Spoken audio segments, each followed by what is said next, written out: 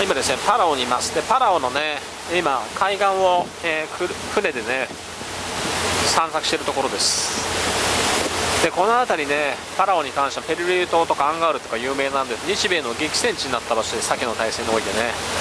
でこのミクロネシア周辺っていうのはサイパンもそうですガンもそうですけどね。この辺りは本当に日米の激戦地になった場所として、まあ、夜の例えばルンガ沖の海戦とかねそういった意味でこういって今夜ですけどね。こんな何も見えない状態で明かりを灯さずにね敵艦に近づいて攻撃したという戦いになります。すごいですね。かつての我々の、ね、祖先日本人がね70年も前にね、えー、もう戦ってたんだなと思うとねすごく素晴らしいね